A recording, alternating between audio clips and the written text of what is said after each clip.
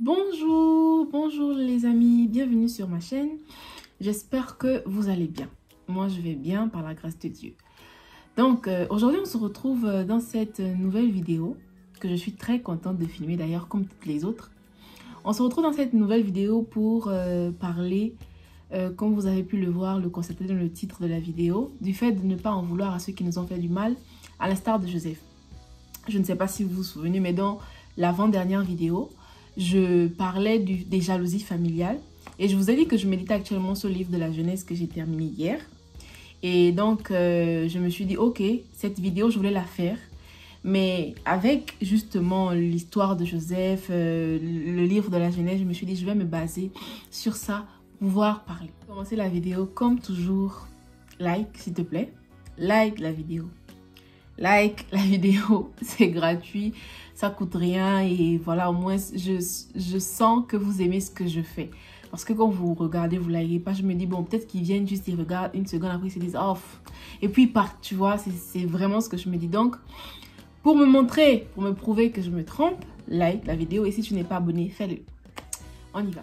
Donc, euh, j'aime trop dire donc, je sais pas si vous avez remarqué, mais j'aime, comme je disais tantôt, Aujourd'hui, on parlera euh, du fait de ne pas en vouloir à ceux qui nous ont fait du mal.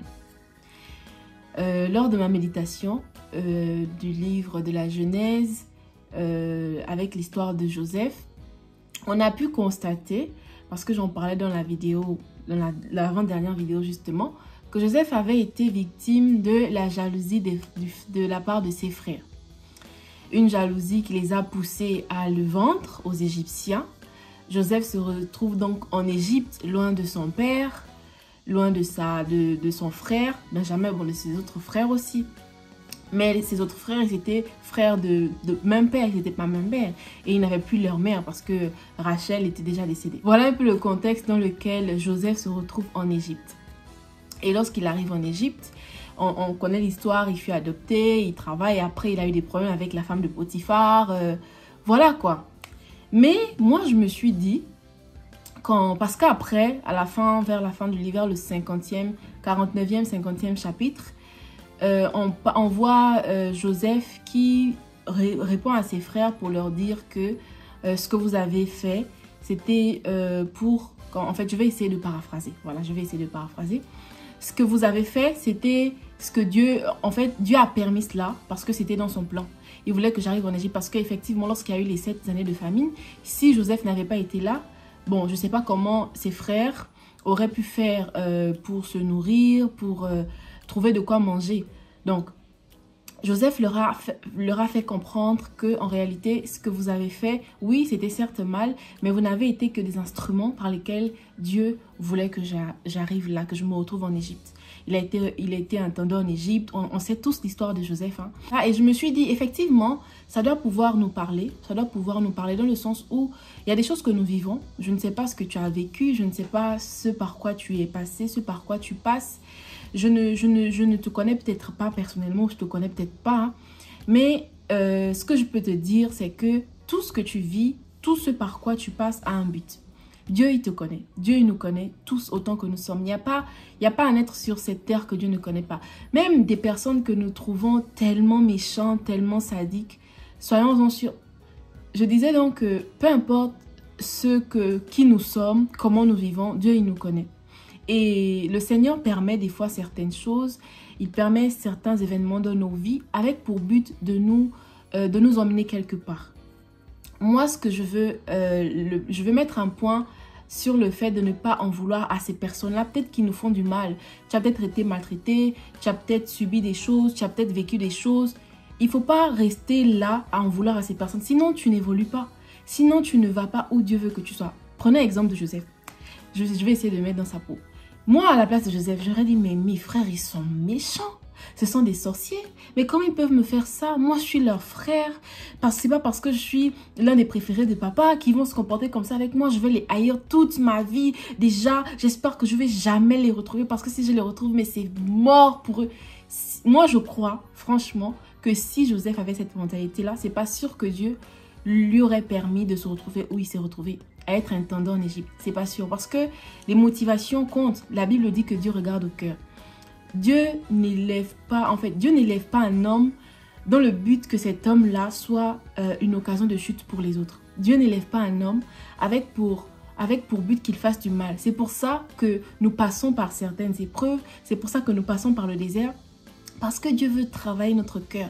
Il veut travailler à l'amélioration de nos cœurs, que nous soyons euh, la meilleure version de, nous-mêmes, que nous ayons des cœurs purs et que nous ayons, et que nous ayons autant pour moi, des, des intentions bonnes, des intentions, euh, je peux dire, pures qui feront que demain, lorsque nous ferons face à certaines personnes dans des difficultés, nous n'allons pas euh, vouloir leur faire payer le mal qu'on nous a fait. Vous voyez? Parce que Joseph, il aurait pu dire, oh voilà, ils sont revenus. Ils vont me sentir, je vais leur montrer. N'est-ce pas, ils m'ont vendu. Et le truc, c'est que quand ils sont arrivés en Égypte pour aller acheter de la nourriture, ils n'avaient pas reconnu Joseph. Mais Joseph les avait reconnus. Joseph les avait reconnus. Et s'il était méchant, c'est sûr qu'il aurait pu leur faire du mal, tu vois. Mais il s'est pas mis dans ça. Il n'est pas, il s'est pas rabaissé. Parce que pour lui, c'est un homme qui était proche de Dieu. C'était un homme de la présence de Dieu. Un homme ou une femme de la présence de Dieu, c'est un homme qui ne regarde pas, qui ne se limite pas à voir au bout de son nez. C'est une personne qui regarde plus loin. Oui, je suis passé par là. Déjà, je sais, je crois que si mon Père qui est dans les cieux permet que je passe par cette situation, c'est pour une raison. Il me connaît. il ne peut pas m'éprouver au-delà de mes forces. Il ne peut pas permettre que je passe par des situations que je ne peux pas être en mesure de gérer. Donc, je vais prendre comme ça et je vais travailler. C'est le désert. Le désert, c'est une période, j'en ai parlé dans une de mes vidéos et c'est la vidéo qui a fait le plus de vues, le plus de likes. Le désert, c'est vraiment la période où le Seigneur veut travailler quelque chose en nous. Et tant qu'on ne travaille pas, on reste sur place. On ne va pas au niveau supérieur. Assez clair. Tant qu'on n'a pas compris la leçon. Tant qu'on n'a pas, on pas appris on n'a pas compris, on n'est pas allé dans le lieu secret pour demander à Dieu pourquoi, pas dans le sens de se lamenter, mais dans le sens de comprendre. Si on ne fait pas ça, bah on reste sur place. On reste sur place. Si Joseph, déjà, depuis lors qu'il avait été vendu, avait de l'amertume, de la haine, de la colère, c'est sûr qu'il ne, serait pas arrivé où il est arrivé en fait.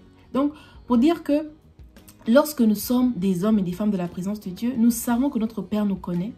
Nous savons qu'il est là nous savons que ce que nous traversons, il le permet pour une raison. C'est sûr que Joseph a pleuré, bien sûr. Il a été séparé de son frère, il a été séparé de son père, il a été séparé de ses autres frères aussi. C'est sûr que ça l'a brisé. Il a été mal, il s'est senti abandonné, il s'est senti seul. Il s'est senti seul et abandonné, c'est clair. De te retrouver dans un pays que tu connais pas, tu es étranger dans ce pays-là. Euh, ils ont forcément une autre mentalité, une autre manière de faire. Certes, tu as certains privilèges, mais tu, tu n'es pas forcément tu n'es pas chez toi. Comme on le dit souvent, on se sent mieux chez soi. Il n'était pas chez lui. Il a pleuré. C'était dur parce que c'est ça le désert. Tu as mal. Tu veux abandonner. Tu, des fois, tu as l'impression de plus avoir de force. Mais c'est là, en fait, que tu, tu te rends compte que Dieu, il est, présent, il est vivant. Et, ce qu'il désire, c'est juste que tu ailles encore plus loin. Il veut, il, veut, il veut te montrer une autre facette de lui. Et donc, c'est le moment d'aller encore avec lui, d'aller plus loin, de monter, de chercher davantage, aller en, profondeur, en fait. Et c'est l'attitude que Joseph a eue. Il a pleuré, il a eu mal, c'est sûr. Mais moi, je crois, en tout cas, moi, j'essaie de mettre un peu dans sa peau. Hein. je, je crois qu'il s'est dit, oui, Père, j'ai mal, mais tu me connais. Toi, le Dieu de mon Père, toi, le Dieu de mes aïeux, tu me connais. Tu, ne, me fais pas passer par là pour m'abandonner. Tu ne me fais pas passer par là pour me, pour me faire souffrir. Il y a une raison. Et on voit très bien, lorsqu'on lit le livre de la Genèse, on, se rend En fait, il avait la place parfaite. Il avait la place parfaite. Et ça, c'est vraiment une autre vidéo que je ferai. Être là où Dieu veut qu'on soit. Parce que là où Dieu veut qu'on soit, on a tout ce qu'il faut. C'est pas parfait. Parce que rien n'est parfait. Hein toutes les façons, comme l'apôtre Yvan Castano me le dire, on va tous souffrir. Il n'y a pas quelqu'un qui ne souffre pas dans ce monde. Mais on choisit de souffrir dans le camp de Dieu. Parce qu'on sait que dans cette souffrance, il est là. On n'est pas seul. On ne se sent pas abandonné. On ne se sent pas délaissé. Parce que lorsque tu souffres et que tu n'as pas Dieu, bah, tu vas chercher les solutions à tous les niveaux. Lorsque tu n'es pas intime avec le Seigneur, tu vas chercher les solutions partout. Partout, tu iras partout. Il suffit qu'on te dise que là-bas, quelqu'un donne les médicaments pour avoir les enfants, tu vas partir. Là-bas, on fait les bains pour avoir le mariage, tu vas partir. Là-bas, on, fait les bains de protection. Pour... Tu vas partir parce que tu n'es pas intime avec Dieu. Tu, tu n'as pas compris que ça, c'est un temps. Dieu me connaît. Il n'y a pas quelqu'un dans ce monde-là qui me connaît plus que lui, tu vois. Et c'est cette attitude-là que Joseph a eue, ce qui a permis qu'il aille plus loin, qu'il fasse des choses incroyables, qu'il mette sa famille à l'abri, littéralement. Parce que lorsque c'est sa famille, lorsque ils se sont retrouvés dans la période de famine, bah, c'est lui qui a pu euh, subvenir, mais carrément en fait aux besoins de sa famille jusqu'à les mettre dans un autre dans une autre dans une autre partie du pays. Franchement ils étaient à l'aise. Et imaginons s'il n'y avait pas Joseph. Parce que déjà les Hébreux n'étaient pas les bienvenus en Égypte. On les voyait comme euh, ceux-là qui euh, je, si je me rappelle bien, ceux-là qui élèvent, euh, les chèvres ou les animaux, genre. Et du coup, ils n'étaient pas forcément les bienvenus, donc ils ne restaient pas avec les Égyptiens. Si Joseph n'avait pas été là, comment ils auraient fait? C'est sûr que la famille les aurait, mais gravement. On passe certainement par des périodes de difficulté. Des fois, c'est des personnes euh, que nous côtoyons, que nous connaissons, avec qui nous avons grandi, des personnes qui nous ont élevés, des personnes qui nous ont gardés, des personnes qui ont été comme des remparts pour nous, ou je ne sais pas, peut-être une relation, quelqu'un, je ne sais pas, ce par quoi tu passes, ce par quoi tu es passé, mais je t'exhorte à ne pas en vouloir à cette personne-là. Si tu crois que Dieu est vivant, si tu crois que Dieu te connaît, qu'il prend soin de toi, n'en veux pas à cette personne-là. Au contraire, moi, ce que je peux te demander, c'est d'aller prier parce qu'il y a des personnes qui font du mal, je vous assure, mais sans se rendre compte. Véritablement, elles font des choses, elles ne se rendent pas compte que ce qu'elles font peut avoir des répercussions très graves sur les vies des personnes à qui elles font ce mal-là. Elles sont juste comme des pions comme des pions que le diable utilise pour faire des choses. Mais Dieu veut se glorifier. Ne leur en veux pas. Euh, c'est dur, mais remets-toi entre les mains de Dieu. Prie pour ton cœur, prie pour ta restauration, que le Saint-Esprit te restaure. Tu n'as pas à en vouloir, parce que lorsque tu en veux à ces personnes-là qui t'ont fait du mal, le pardon, tu n'arrives pas à, à, pardonner. Le pardon, il est libérateur beaucoup plus pour la personne qui est censée pardonner, pas pour les personnes qui ont fait du mal. Parce que les personnes qui ont fait du mal, gars, ils vivent leur vie ils enjoy, ils font des trucs. Tu as l'impression que, mais attends, Dieu ne voit pas ce qu'ils m'ont fait. Ils vivent même mieux que moi. Bah, c'est la vie. Il faut pardonner. Il faut aller de l'avant. Il faut prier afin que le Seigneur les touche. S'ils n'ont pas encore rencontré le Seigneur, bah, que le Seigneur se révèle à eux et qu'ils se rendent compte. Parce que c'est sûr que lorsque tu fais du mal à quelqu'un, tu te rends pas compte. Quand le Seigneur veut te faire savoir que tu as fait du mal à cette personne, tu vas ressentir cette douleur.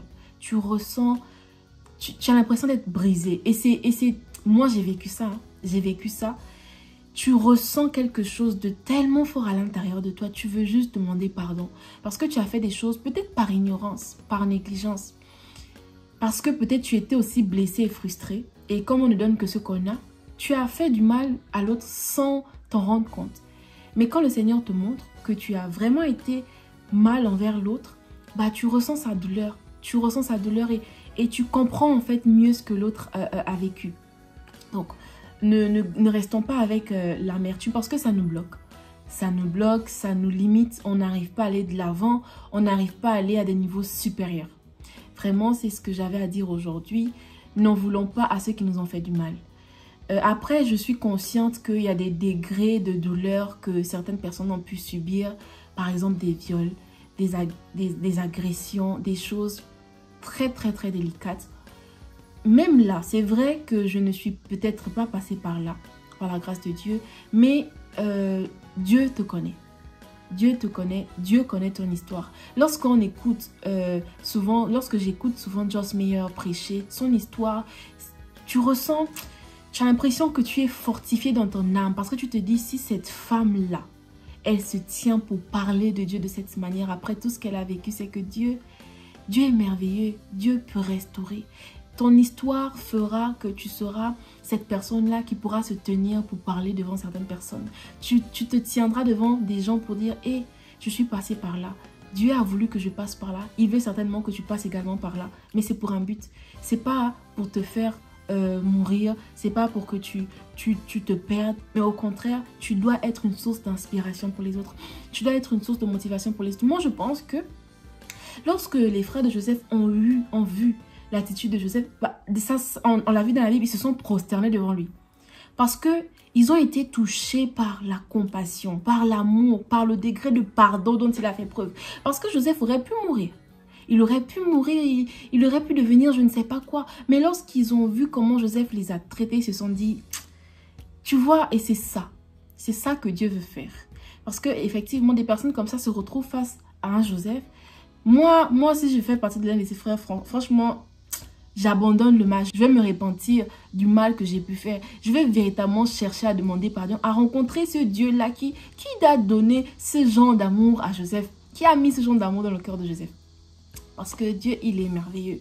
Certes, c'est dur parfois. Franchement, euh, c'est dur, comme je disais, il y a des choses tu ne peux pas comprendre parce que tu, tu n'es peut-être pas passé par là. Mais je sais que ce Dieu qui te connaît, qui me connaît, il peut t'emmener à guérir. Il peut t'emmener à être soulagé et être aussi une source d'inspiration pour les C'est tout pour la vidéo d'aujourd'hui. Euh, j'espère qu'elle vous a plu. Encore une fois, n'hésitez pas à liker et à vous abonner si ce n'est pas déjà fait. On se retrouve très prochainement pour une autre vidéo.